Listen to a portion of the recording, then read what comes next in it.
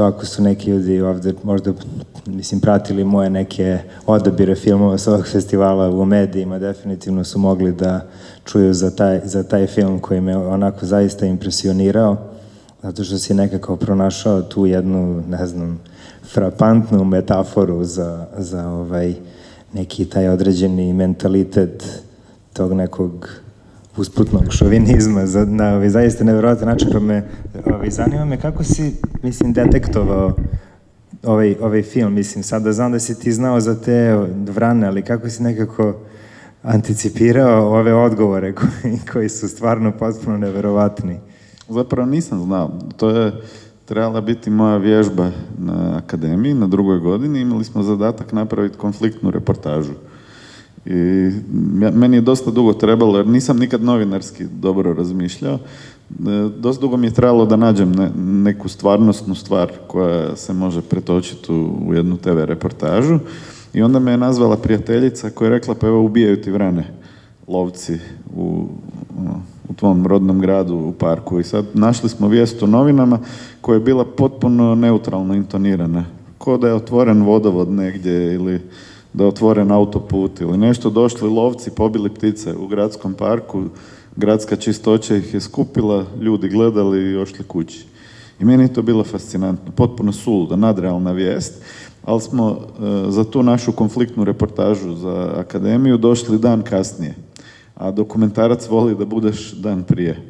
I reportaža je bila dobra, ali smo došli post festum i već na tom snimanju te konfliktne reportaže e, smo mi saznali, to ja nisam znao ko, ko, ko građanin Siska, tu nekakvu legendu o tim pticama. Ono, čak i moji roditelji koji su fakultetski obrazovani ljudi su bili uvjereni da ih direktor željezare u, u torbi donio iz Rusije.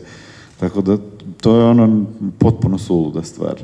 E, naravno, ono, tražio sam i mišljenje ornitologa koji su rekli da su, da su vrane se doselile u Sisak koju cijelu srednju Europu tijekom 50-ih prirodnim putem.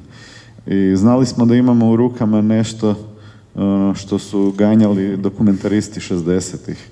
A to je da imaš na površini neku vrst komedije, a ispod da imaš neki potekst koji je dosta političan ili ima ono, za svakog gledalca da možeš ono, koliko on želi ući duboko ono što radiš da možeš, ono, ja sam volio takve filmove, ono, Papića, Žilnika, Karpa, Čimovića i ono, cijeli moj studij je zapravo bila potraga za ovakvim pričama, a ovo nisam našao ja, nego moja frendica koja je čitala novine. Da, baš sam htio da kažem, ovo je kao neki action horror film, kao recimo Izbavitelj ili, ili ovaj tako nešto, nešto potpuno jazivo. I stvarno su te stvari koje oni govore tu potpuno neverovatne i taman kada misliš da ta metafora ne može da ode ovaj, ni jedan korak dalje, na kraju ovaj, kaže ja sam samo radio svoju, svoju dužnost. E, ono što je još luđe, ali smo tu odlučili povući ručnu kočnicu, to se sve dešavalo u parku doktora Franje Tuđmana. Ali mislili smo, evo, to je tumač, to je preljigavo. To, je bilo to, to, je tumač, pa smo rekli, ono, u biti negirali smo prostor grada Siska. Ovo se dešavalo u tri ili četiri gradska parka, mi smo ih spojili u jedan mentalni park. Ovaj, tako da sve one lokacije nisu skroz na istom mjestu. On, tu ima ljudi iz Siska koji, koji znaju, ali idejno ovak bolje funkcioniraju stvari. Da, i ono što mi je interesantno u ova eh, prva, prva dva filma ima, ima pa, postoji neka osoba koja kaže tako to mora biti. To mi je, u oba filma, da. I u oba da. filma, to sam tek sad skužio, na kraju je čišćenje. To je ono što nam se dešava nakon konflikta generalno u društvima. Dođe ekipica, to sve počisti, sve će biti kao što je bilo prije. Što bi pa, ovaj treći lik rekao, satrlo u sva, U sva tri filma zapravo. Ja na kraju kao sad mi tu idemo, putujemo mini, mini busovima i ovim onim i sve to tako. Ovaj, e, tvoj ovaj drugi film, e, nemam ti što reći, e, lijepo je opet, to mi je interesantno što svaki tvoj film nikad nije o jednoj stvari, uvek ima najmanje dve ili, ili ovaj, više. Ovde u ovom slučaju je pitanje tog jednog slučaja i sa druge strane pitanje tebe kao nekoga iz Siska, ovaj, ta, to neko promišljanje o tom, o tom gradu i odlasku iz, iz ovi njega. Pa da li bi mogao nekako da nam približiš nekako kako si došao do te interesantne strukture? Pa meni, ja mislim da smo pogrešili sa naslovom tog filma. Mislim da bi puno bolji naslov bio Dnevnik Ljubice Solar. Vuko bi na Twin Peaks. Još, pa vuče na Twin Peaks, da. E, to sam i ja skužio sad. Ovo, ima nešto Twin Peaks oliko ovo, u slikama koje smo stvorili. E, meni su zapravo ove djevojke na neki način e, neka vrst zamjene za samu Ljubicu. One imaju jednako godina danas ko što bi imala ona da je kojim slučajem preživjela rat, a kad nekoga nema, uvijek te kopka nekakva misao, znaš, ono, šta je ta cura mogla napraviti da je ostala živa? Možda je mogla izumiti lijek za rak ili biti dobra pedikerka, potpuno ovaj, nebitno, ali mi, mi nikad ne znamo ono u što se neko biće a, ako mu je dano da, da živi, moglo, ono, ko bi ta osoba bila danas, a imali smo taj dnevnik njen kao neki filmski adut, i zapravo to su sve cure koje ili ja poznam ili su one poznavale Ljubicu. I po nekom ključu njiho, njihovih sposobnosti za intimnim komuniciranjem pred kamerom, snimili smo ih još, snimljeno je još nekoliko cura, ali ove su završile unutra. A recimo ovaj metafilmski element, to da se mi vidimo kao ekipa, da se moja sestra obraća meni, to smo tek u montaži odabrali. A i u Vranama se, se vidi i mi... E, I to je greška, bez, bez naše volje. Ovi delo je kao neka tematska... Pazi, tad nije bilo da možeš pobrisat ovaj, u slici. To, mislim, meni je sad drago, ja volim te sitne nesavršenosti. Znaš, ono, ko ovi e, Arapi kad rade čilime, onda zadnji god namjerno fulaju, jer samo Allah je savršen. Tako da ja, ja volim ono, sve greške, iščašenja i tehničke da, nedostatke. mi na pamet, uh, imajući u vidu i tvoj film 3 i, i ovaj, to sa tim mikrofonom, da li možda to ima neke veze sa Abbasom Kerostamijem i tim njegovim filmovima koji pošto ima uku strašan, ima kad se vidi cela ekipa, onda ono posle 10 i 3 ima ovo kad se, kad se vozi u kolima, jel tu postoji... Volio bi ti reći da, ali ne. A šta se desilo na kraju sa ovim, uh, sa ovim slučajem Ljubice Solar, jel to ovaj, na neki način razrešeno? Magare, nije, nije razrešeno, ovaj, taj momak kog majka spominje kao potencijalnog ubojicu se vratio iz Kanade u grad i na fejsu se sa snajperom ovaj, slika. On je lovac. Znači to je naj, najverovatnije... Ne, ne znamo da li on nije. Ja, evo, ja tu nisam istražitelj, ne mogu to reći. Jer kad je takva stvar, onda krene deset glasina. Te je, te, te nije, te ovaj, te onaj ono što je činjenica je da, da se ono balistički zna s kojeg mjesta je pucano, a to mjesto je policijska postaja. To je interesantno. To je krov, krov. Te... Krov, krov policijske postaje. dobro, da pređemo sad na film 3. Ovaj, jedan jako, jedna jako interesantna stvar da si uzeo tačno ta, kako da kažem, tri neka predstavnika ko, ko, koji su učestvovali u tim u tim oružanim sukobima i uh, interesuje me kako si došao do baš, do baš ove trojice. Pa, uh, mene zapravo nakon drugog filma sam se posvađao s mojim producentom i rekao sam da u ovakvim uvjetima u kojim mi radimo u našim krajevima smo mi redatelji zapravo producenti jer se na našem besplatnom minulom radu dobivaju ili ne dobivaju sredstva za proizvodnju filma i bio sam jako ljut kako je cijela ta produkcija ovaj, prošla. E onda je moj producent našao novce, valjda iz Europske unije i od tih nekih fondova za pomirenje, suočavanje s prošlosti rekao, evo sad ću ti biti pravi producent ili imaš kakvu priču. I ja znam da sam se ja tad gnušao moja prva dva filma, jer su oba bazirana na meni najlakšoj metodi dokumentarno, to je intervju metoda, jer ja to znam lijepo raditi, jako jednostavno, znam pričati sa ljudima, a taman sam ja mislim u Oberhausenu vidio 5-6 krasnih observacijskih ruskih filmova, i ako sam htio snimiti observacijski film, i film 3 je trebao biti observacija koja prati hrvatskog vojnika Ivicu koji dolazi u Srbiju i nalazi se sa hardcore vojnicima sa, sa ove srpske strane. I krenuli smo snimati i to je bio super materijal, to lijepo smo snimali. I ovo sve što vidite u filmu, ovaj intervju sa hrvatskim vojnikom, on je nastao potpuno slučajno.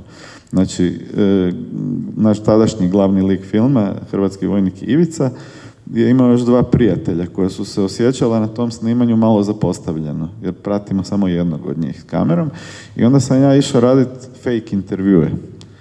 S njima u autu da bi se oni bolje osjećali. E, da bi se bolje osjećali, da bi se osjećali dijelom ono, cijelog procesa u kojem sudjeluju. I ja sam u tim intervjuima uvijek jako, e, na, rubu sam prihvatljivog u ljudskom smislu. I, e, ali sam iskren. Ovaj, u, kom, u kom smislu? U smislu da kad su ljudi ono, optuživali Tuđmana za sve što su napravili, ja bih rekao je ono, taj čovjek je jako kriv za mnoge stvari, ali nije on bio na livadi kad si pucao poteljak tom čovjeku. Znaš, ono, to si ti povukao Obaraća, ne Tuđman. I onda je vozač Ivica, naš glavni lik, poludio i krenuo pričat sam od sebe, bez da smo radili intervju s njim. Kameru smo samo usmjerili na njega i sve što vidite unutra je zapravo slučajno snimljen intervju, kakav on ni prije ni poslije meni nije dao i to je, ono, to je absurd. Ideš raditi observaciju, a dobiš genijalan intervju, slučajno. I kad je završio, kad je naša traka bila ovaj, gotova, ja sam ga zagrlio na benzinskoj pumpi i rekao ovo je najbolji intervju koji sam napravio u životu. On je rekao ne, ovo uopće nije bio intervju. Ja sam se suzdržavao da ne stanem s autom, da te ne izvadim van i da te razbijem komačku. Ovaj, i onaj gnjev koji vidite unutra, to je zapravo njegov gnjev na mene.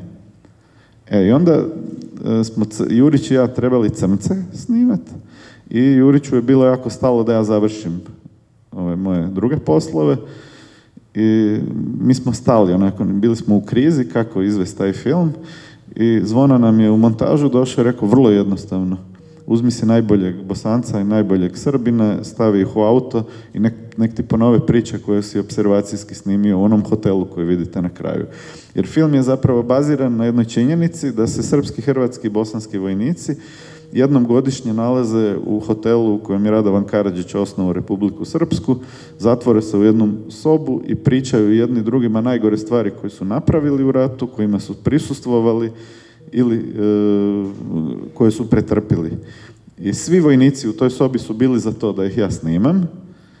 I ja sam bio ono, mislio sam wow, kakvu film ću dobiti, ali čovjek, psiholog iz Novog Sada koji je vodio taj proces, je meni došao i rekao, evo, onaj čovjek nije rekao svoj supruzi šta je napravio tu i tu, reći će unutra, a ona će to vidjeti na televiziji. On ti je tri puta probao suicid napraviti. Jesi ti ono, toliko siguran da bi htio da, da njegova supruga vidi na televiziji, što će on ovdje ispričati. I postavio mi takva ono, tri ili četiri retorička pitanja u kojima smo se mi filmski povukli s te prostorije, jer je to ipak njihov prostor, a ne naš, ali ove tri osobe koje imamo u filmu su iz te prostorije izlazili van prepričavati nam šta se radi unutra, oni su zbilja htjeli ovaj, participirati u ovom filmu. I u neku ruku jesu su bili oni, najbolji. Jesu oni vidjeli ovaj film? Nakon? Jesu, naravno. naravno ja to opet htio je, je zlupati ili... Pa imao sam problem i oko ovog filma, jer je bosanski vojnik e, Narcis E, dolazi u Srbiju poslovno i vala su na carini zamijenili priču hrvatskog vojnika i bosanskog i stavili su ga u zatvor. Znači, zbog ovog filma je čovjek uhapšen i nije mu bilo milo. To moram znači, reći. ovi film tvoj je ovi stigao do, do, kako da kažem, srpske carine. Da, a sve je skrivio neki glupi češki portal koji je pomiješao imena i priče. Evo, to na hrvatskom portal Češki je pisao na našem Češki jeziku. portal na hrvatskom. Da, Dobro. Da li bi možda uh, neko imao pitanja iz publike? Nekako mi se čini da sigurno neko ima neko pitanje. Evo, montiramo ga. Snimali smo jednu zgradu u Željezari, Sisku. Uh, sve stanove od prvog do zadnjeg za vrijeme svjetskog prvenstva u nogometu. To je potpuno ludilo. Ti si jedan nevjerojatan hroničar Siska, mislim, ja nisam nikada, na bio u Sisku, ali sam gledao toliko tvojih filmova, osjećam se kao da bi mogo da, ne znam, pronađem neke stvari u tom gradu. Mada uvek izgleda mm. potpuno drugačije, recimo i u okviru ove, recimo, dva filma kao da smo u dva ovaj, potpuno različita grada, zapravo. To uopće nije planirano, ja nemam ambiciju biti hroničar tog grada, nego jednostavno, većina ovih filmova, osim tri, su nastali bez love, recimo uvozne vrane 100 eura budžet i čovjek naprosto radi ono za što mu nekakva lampica u srcu, mozgu ili gdje god zasvijetli, a meni se tamo pali lampica bez moje volje. Tako da, e, mnogi ljudi mi ono savjetuju da se maknem tematski iz, iz, iz tog grada, ali A zašto? Meni, se, meni to baš, mislim, baš na interesantan način nekako predstavljaš hrvatsko društvo u nekom tom mikrokosmosu Siska. Ima logike, ali isto kažem, nije moja logika, to naprosto ide organski, ali ja sam ti zapravo koak, znate, iz Amarkorda, onoga e, advokata povjesničara koji vodi kroz film. E, ja imam dosta patološki odnos prema tom gradu i skupljam sve što ima veze od filmskih materijala, fotografija, ljudskih artefakata, pisama i svih živih logora koji su tamo u svim režimima stvoreni. Onak, recimo da sam jači od lokalnog gradskog muzeja. Tako da e, moja patologija prema tom gradu ne, ne ostaje samo na filmskoj vrpci, nego, nego i da. u mom privatnom životu. Da, dobro, još pitanje tamo. Grad, gradsko poglavarstvo. Osim majke mog najboljeg prijatelja koja se pobunila, nikom nije ništa smetalo.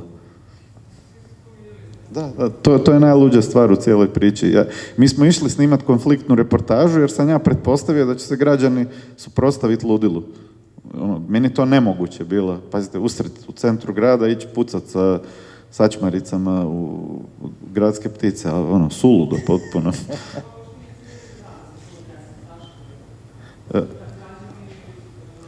E,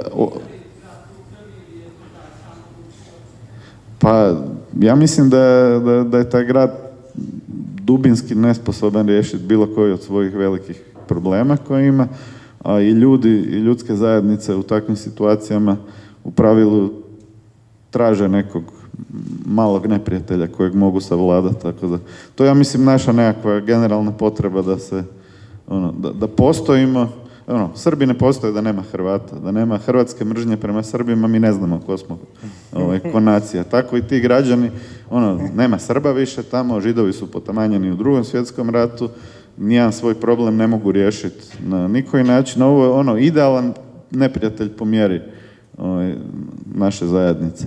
Koji se, koji se stalno dopunjuje. Sam, Da, i još nije, znamo mi koji raspon krila imaju hrvatske vrane. E, još, još S tim da evo, po- ako mogu samo jednu stvar reći, osjećam se nečisto ovaj, oko tog filma, jer je ova gospođa iz HDZ-a, to je majka jednog od mojih boljih frendova. I sjećam se da sam ko student još ono vagao lojalitet prema prijatelju i jebem ti imat ću 10% bolji film sa njenim budalaštinama unutra. I jako sebičnu odluku sam donio. A intelektualno opravdanje mi je bilo da sam ja za nju glasao kao opozicijonu kandidatkinju i da ona ušla u gradsku ovaj, skupštinu kao opozicioni kandidat i onda je tek prešla u HDZ. Tako da ona nije ni, ni znala točno reći ime svoje nove stranke. Ovaj, pogriješila je, ali generalno evo sad, sad mi je jako žao. Recimo kad mi je tata imao moždani udar, taj dečko, sin od ove gospođe, mi je sredio bolji tretman tati u Zagrebu. Tako da, ono, djelatnost koju se ja bavim čak kad ima neke ovaj, više čiste razloge, zapravo prljava jako u, u, svojoj srži. Pa to je kada, kada snimaš u Sisku, šta ćeš tamo, negde drugde ne bi možda poznavao toliko ljudi. Da li ima još, još, još neko pitanje možda? Sutra možete da pogledate još, još jedan blok Goranovih filmova, nakon kojeg će biti održan uh, njegov master klas i onda preko sutra će biti još jedan blok filmova, ovaj, uključujući njegov posljednji film u ime Republike Hrvatske. Tako da, ovaj, ako niko više nema, nema pitanja, hvala ti Gorane što si ovaj, došao i hvala ti iznad svega na svim ovim filmovima. Hvala vama da ste me pozvali, da sam mogao vidjeti filmove nakon što sam ih napravio.